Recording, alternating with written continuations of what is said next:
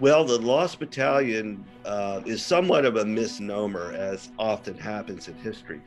And to summarize, the conglomeration of units had been separated from the main body of the 77th, and they ended up kind of fighting together.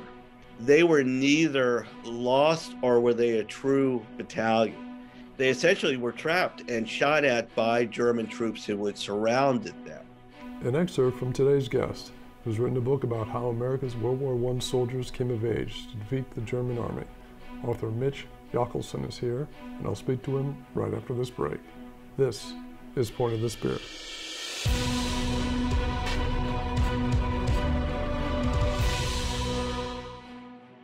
Listen and subscribe to this and other great episodes wherever you get your podcasts.